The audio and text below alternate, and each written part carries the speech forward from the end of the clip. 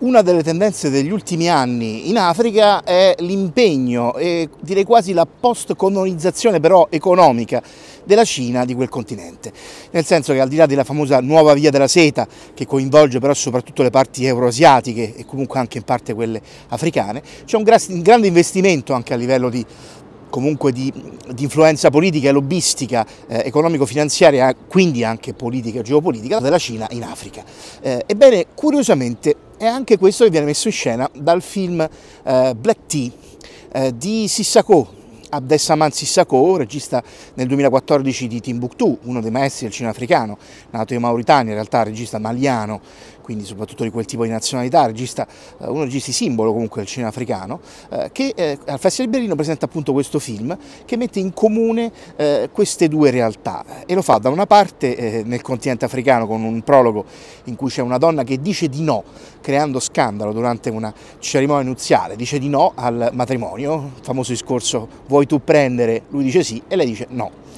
Eh, e poi la vediamo perché insomma eh, dalla Costa d'Avorio dove si trova e da questo eh, scandaloso no, poi si trasferisce in una realtà di Guangzhou nella Cina eh, al confine col, con Hong Kong, nella Cina meridionale, in un luogo eh, di emigrazione, di diaspora africana che si chiama Chocolate City, in qualche modo spostandosi appunto in questo curioso quartiere di minoranza africana nera eh, all'interno della Cina.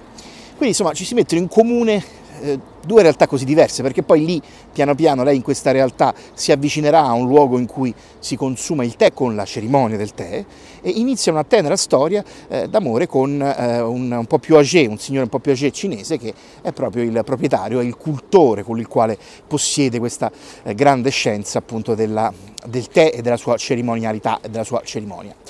Ed era interessante perché insomma è un film eh, da parte di un regista insomma, di una certa età con un certo stile, ecco. Ebbene mette a frutto questo suo classicismo eh, e questi suoi ritmi dilatati eh, nel innanzitutto affrontare una realtà diversa, che è appunto quella, quella cinese rispetto a quella africana che ha raccontato tante volte, e poi anche nel raccontare eh, in realtà qualcosa di molto contemporaneo, come l'amore non codificato e classificato. Quindi insomma in questo caso c'è questa bellissima immagine di una donna nera molto scura e di un, un uomo cinese eh, con lineamenti molto diversi, eh, ma ci sono in generale molte variazioni e declinazioni di perbenismo che vengono denunciate. E in questo è un film libero, eh, piacevole, eh, una boccata d'aria fresca all'interno appunto di un mondo che sempre di più, anche in quella realtà Africa e Cina, tende a richiudersi un po' eh, grettamente all'interno invece di steccati e di abitudini eh, di eh, interpretare l'amore, in generale i rapporti eh, sentimentali e familiari in maniera codificata. Per cui ecco un film che richiede un po' di attenzione, un po' di pazienza, un po' ingarbugliato eh, anche nella sua struttura,